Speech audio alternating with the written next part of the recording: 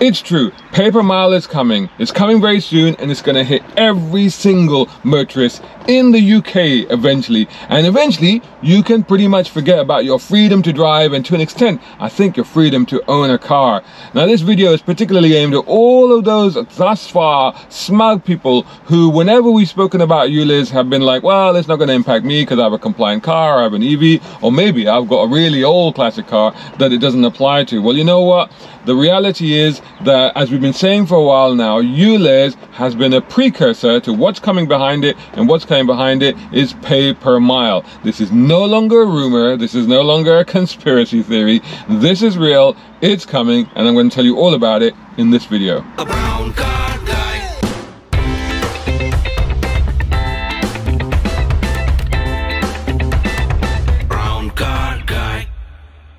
So just sticking with ULEZ for a minute, the whole debate around ULEZ just gets even sillier and sillier as time progresses, quite frankly. And as we actually get closer and closer to the deadline, which is looming very, very fast now. And for example, recently somebody sent me a link to a news item about Brent. Brent is here where I live actually. And apparently the Conservative councillors had decided to ask for a debate in the Brent Town Hall Civic Centre, whatever you want to call it, um, regarding ULEZ. And they had titled this thing, Punishing Brent's Drivers. And the Labour Council had gone, okay, sure, we'll have that debate. Only the thing is they changed the parameters of this thing until they basically changed the title to Punishing Brent's Children. I mean, hang on a minute. Uh, and then what happened, of course, is the Conservative councillors just refused to have the debate. They walked out. Part of me is like, well, they should have stayed and had that debate because it was an opportunity to do so. But the other part of me really actually can't blame them because that's just completely changing the parameters totally. And you know, the whole concept has been turned around. That is absolutely ridiculous. Now, the reality is that it's not about punishing actually Brent's children. In fact, it's not even about punishing Brent's drivers, but the ex the extremities of the number of people, the whole spectrum of people, and the whole spectrum of society that actually punishes is vast, and it's, the consequences just haven't been thought through. And if you've had a chance to look at any of my sort of protest coverage videos that I've done, where I've gone out and talked to real people, you know, anything from a charity that uses their 4x4s to go out and rescue people in need when the weather conditions are really bad, to a guy that had to sell part of his charity uh, BMX bike collection in order to buy a new van, in order to do what he does, and what he does actually tends to people's graves. I mean, that's extraordinary. And on top of that, you know, it's, it's quite clear, it's been in the news that this ULEZ expansion is going to hurt charities, it's going to hurt schools, and um, it's going to hit food banks. Is another thing that is coming into it as well.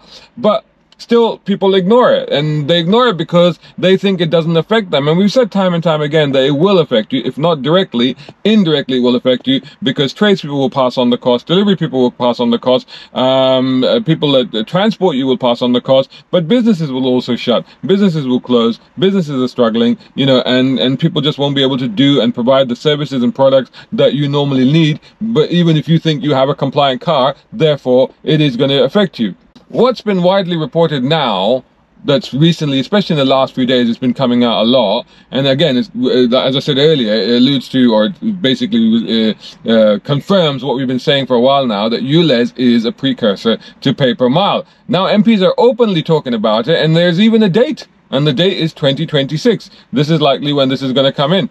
And even Khan has said this. You know, Khan has openly said this. In fact, they even advertised a role for the position of somebody to lead that program. I'm not even joking. This is real. This was out there. Anybody could have applied. You could have applied. I think I covered that in the previous video as well. And somebody else covered it. I think Jeff Buys Cars also covered that as well. So this is a real thing. This is not about well certainly not about the environment. Let's be absolutely honest because people confuse these matters and they go oh well you know we need to do this because the environment. It's not to do with the environment it's to do with the air quality it's to do with the pollution. But we've long since established that the expansion the ULEZ expansion itself is not to do with pollution either because uh, as I've shown with my little meter that I've gone around and created these two videos which many of you have seen and appreciated and thank you very much um, about the fact that there's going to be no difference to the uh, pollution levels or the air quality in areas like where I'm sitting right now. It's a beautiful day right now. But this also is confirmed by, in fact, TFL's own independent report, which they commissioned way, way back, right at the beginning by Jacobs. And they said the impact would be negligible and would be negative socioeconomically in certain areas. So, and that's particularly referring to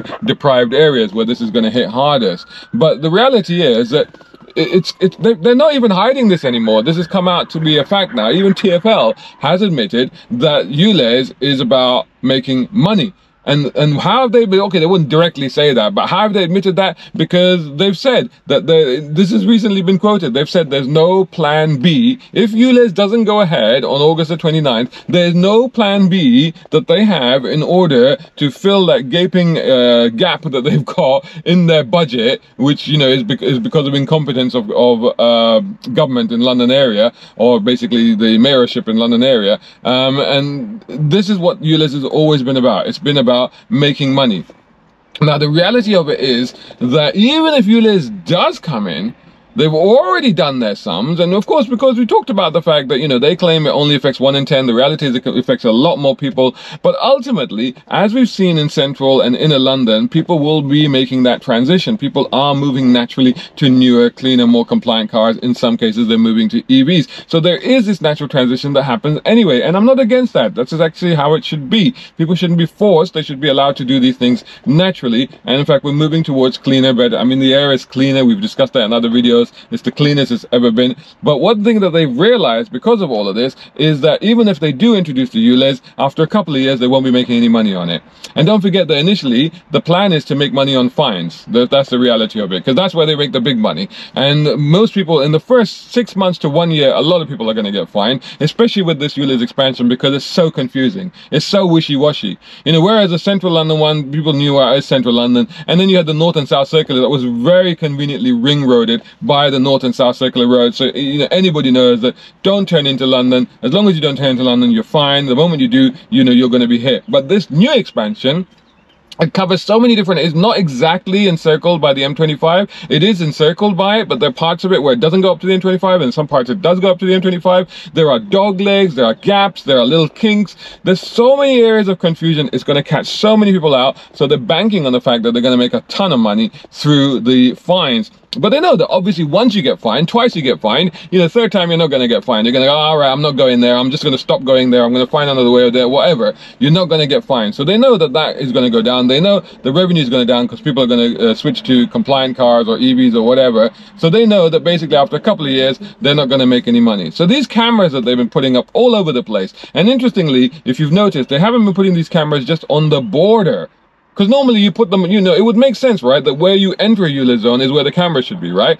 So that it clicks on you as you go into the ULEZ zone. So it got you. So it's like, all right, you've gone into the ULEZ zone. I've got you. That's what the camera should be for. But as you've noticed, these cameras are going up everywhere. So they're going up within the ULEZ zone, within the expanded ULEZ zone. And what are these cameras? The ANPR cameras. And what we've been saying for a while and what is now being proved to be true is that the idea with these cameras is to turn the whole thing into a smart road network, where basically it's not about you're going into a zone, it's about basically uh, monitoring you the whole of your journey.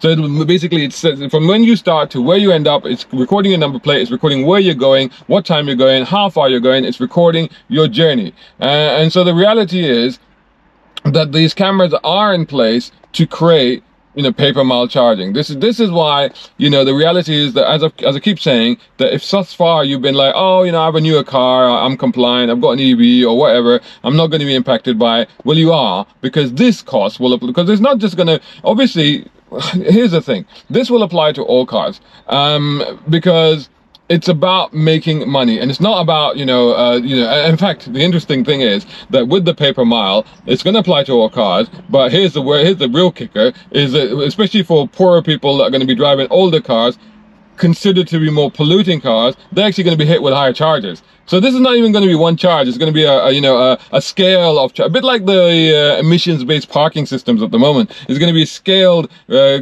rate of charges that you're going to be hit with. So if you've got a polluting car, you're going to be hit harder. But anyway, but everybody is going to be hit by it. And the reality is that those people are like, oh, I've got an EV, I'm going to, you are, the EVs are going to be hit by this as well. And in fact, it's partly because of the EVs that this is happening right? Stick with me on this. You go, what? What is he talking about? No, it's because of the EVs this is happening. It's crazy, but it's, it's logical. If you think about it, they're forcing people to switch A to compliant cars, but they want them to switch to uh, EVs, very expensive EVs. So they're forcing people to spend a lot of money to switch to EVs, which uh, mostly are still very, very expensive to buy, right? But the problem with that is the EVs don't have any road tax at the moment. They don't have any VED. That's coming in 2025, but it won't be enough. So they're like, okay, the problem that we now have is that all these people will switch to these cars and we won't be able to make any money off them. So how do we make money off them? Well, we charge them pay per mile. And this is particularly the case with EVs. So because especially with those rolling charges of like, you know, if it's more polluting, they won't be able to apply that to EVs. So what they'll be able to do is just go pay per mile and that's how they're going to work that out. So the reality is that, you know, Sadiq Khan wants to introduce a pay per mile smart road charging network system. He's basing this concept on Singapore, where they already do have such a system. Now, London is not Singapore. Okay, I think this, you know, th this this has to be made very, very clear. London is 600 square miles. Singapore, right, you have 6 million people scrammed into an area of 280 square miles, right? It's about half or less than half the area, right? It's an island. It's crammed. It's packed. It's congested. It's dense. It makes sense to have a pay per mile system that I'm not saying I'm not advocating pay per mile, but I, I can I can see how that could work, especially when most people there can't even afford cars. What do I mean by I can't even afford cars? An average Toyota Corolla there, right? Which you say, well, that would be an, an ordinary car for most people to aspire to own, right? An average Toyota Corolla there costs about $140,000.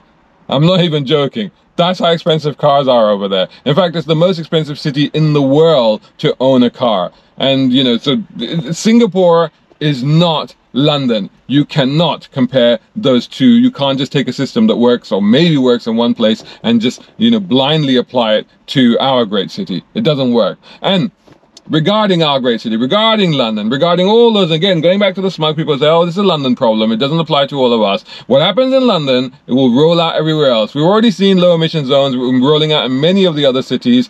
Um, low emission zones or what's the CAZ one? Uh, clean air zones. And then the ULEZ thing will also start to happen as well. Um, but ppm will pay per mile will spread across the rest of the country and why will it happen because again going back to the whole ev thing and again this is why i'm saying this is all because of evs they're looking at a 13 billion pound hole in tax revenue from people not buying fuel when they switch to EVs. So here's, it's crazy, right? It's just it's a whole diesel thing repeating, right? They told us to buy diesel and they told us diesel is bad for us. They told us to buy EVs and then said, oh, well, now we're not making any money. So now you will have to pay because you bought diesels. And so because you bought EVs. And you're like, well, hang on, but you told us to buy EVs. Yeah, we told you to buy EVs, but now you bought them. Now we can't make any money off the fuel. So now we're going to find another way to charge you. And it will be pay per mile. And that's the way it will, that's the way it will come in. And the thing is like, it may start innocently enough, right? They may come along with, say, like 10 pence a mile. And the 10 pence a mile, most people, you know, a lot of you will be like, 10 pence a mile, that's all right. Doesn't sound like much. 10 pence a mile, that's all right. Work it out, people. The average mileage in the UK for most motorists is 10,000 miles per year. At 10 pence a mile, you're looking at a thousand pounds a year.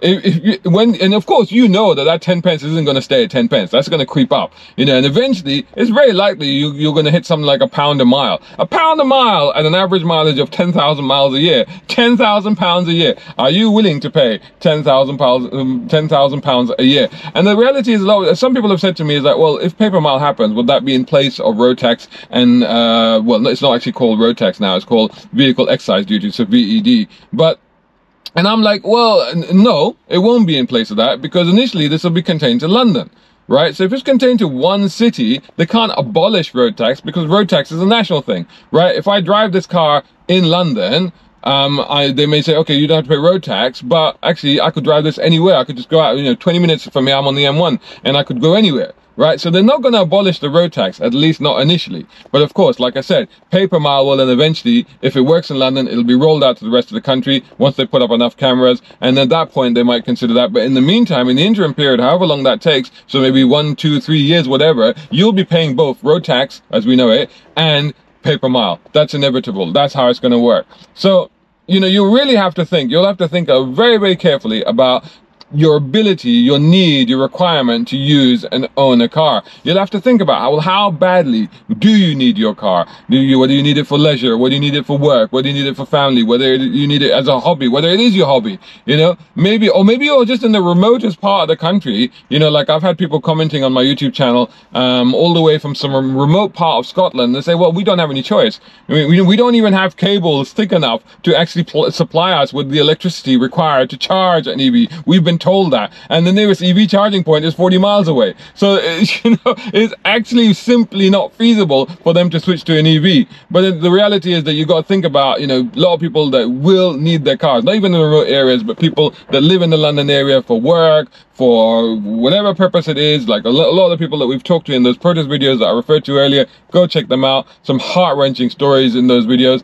But people need cars. They need independent transport. And very soon you will be severely restricted and how you can use that and ultimately how you can own um, that independent transport. Um, you know, because ultimately, you know, when it gets to that level, when, you know, the, the value of using a car is so expensive, and the values of buying the cars will also become more expensive because as less and less people buy cars, the fewer the cars get, the more, the more the profit margins have to grow on the less, it's like executive cars, right? The way the cars are structured, the cheaper, the smaller cars are cheaper, they sell more of them, so the profit margins are lower. Then you get up to luxury cars and executive cars and sports cars, they sell fewer of those cars, so the profit margins have to be much higher on them. So when you sell fewer things, you put profit margins higher in order to make money. But that's if you have a car industry. Because, you know, the other aspect of all of this is that whatever is left of the UK car industry can kiss its backside goodbye as well. Because the reality is there'll just be no need for it, you know? I mean, as it is, we don't really have any British car brands anymore. I mean, yes, supposedly they're British, but for example, Rolls-Royce and Bentley are both German. Uh, Jaguar Land Rover is actually Indian. Uh, Aston Martin is actually owned by a combination of Canada, Saudi Arabia, China, and even Germany, because Daimler has a share in it as well. And McLaren is owned by Bahrain, and in, say something even like Caterham, but that's really too small to consider in this uh, discussion because it's more like a, a small boutique car manufacturer. But if you like, even that's owned by Malaysia. So the reality is there isn't very much here. And when things like this start to happen, when it becomes so prohibitive for people to own and drive a car, they just these countries are going to right. We'll just take these companies and take them elsewhere. It's already happened with things like MG you know, MG's already gone, you know, and, and, you know, companies like BMW can, have been building minis in other countries as well. So, you know, this is what happens, you know, and this is what's going to happen. So if you don't want to lose your cars, uh, your car industry and your right, your freedom, your right to your freedom of movement, as you wish to do it in your personal car, then you need to take heed of what's going on. You need to act now. I mean, you must do something and you need to do it now. Whether you do it protest, the next protest, 22nd of July at the BBC Centre in central London. I'm going to be there. Come down there. So come to the protest. Make these, you know, there's lots of awareness protests happening all around London. Go and join those. So protest, petition, go to parliament, talk to your councillors, talk to your MPs, tell them right now that this is a vote loser. We have a situation where there's an opposition party that's very comfortable about the fact that they think that they are coming into government, they may well do, and then they think that they that will give them a mandate to impose ULEZ and ULEZ-like scenarios such as Pay Per Mile on the entire UK. You need to tell them right now that that is not the case. And if they go down that route, they aren't going to get into government and they're going to lose, or even the existing government, you need to tell them, look, this is what we want. Basically, you need to go and talk to these people in charge. Basically, you need to stop just sitting there with your car keys dangling uselessly in your hand and you need to do something about it before it's too late. Can you believe that I'm sitting in my you know modern classic 1989 BMW 325i SE E30 model? This car, I've basically now got around five weeks in which I can drive it now. That's it. Because I live in the area where ULEZ will expand to. I've only got five weeks left to drive this for free until every time I take it out of my car park, I will have to pay £12.50. And I will because they put cameras on my road already that is happening. And the reality is that you know if i have to pay it's like somebody i met yesterday at an event at a car event a fantastic car event where a lot of london based people were there a lot of people that were going to be affected by ULEZ were there. They were all having a great day out. They were all enjoying it. A lot of discussion about ULEZ many people are concerned about it. A lot of those people had modern classics. And the reality is that it, like somebody said to me there i said look if it's going to be a situation where i'm going to have to pay 12 pound 50 to drive this car i never drive my car into central london. But if i'm going to have to pay 12 pound 50 then i'm going to get my money's worth out of it. I'm going to drive it everywhere. And I feel the same. If I have to pay £12.50, I'm going to drive it everywhere. I drive into the most congested, worst parts of London because heck, I've paid for uh, the right to do that. So I'm going to do it. And that's what I think a lot of people are going to think about that. So again, it's, this is kind of self-defeating uh, objective of, of this scenario that we're looking at. Um, you know, and the reality is that uh, following on from that with pay per mile and everything else that's coming soon, it's going to be a case that, well, I won't be able to afford to drive this at all, you know, and that is absolutely ridiculous. So, you know, like I've said before, we need to draw the line here. We need to tell everybody that this has to stop here. The ULEZ expansion has to stop and we have to. We absolutely must stop and cancel any discussion of pay per mile because otherwise it's going to be upon us before we know it. And in the meantime, I'm going to drive the wheels off this thing while I still have time because soon it's just ridiculous. Brown car guy. Hope you enjoyed that video. If you did, please, please hit the like button and share this video as well if you can. And while you're at it, check out these guys who also sponsor my content. I am deeply grateful to them because it helps me to buy new equipment put fuel in the cars. And yes, buy a cup of coffee. You can do the same. Just go here or right here on YouTube. Just hit these three little dots down here and click on thanks. Make sure you're signed in first. My content is free, but this is how you can help me keep it that way. I may even send you a gift. Oh, by the way, watch this next.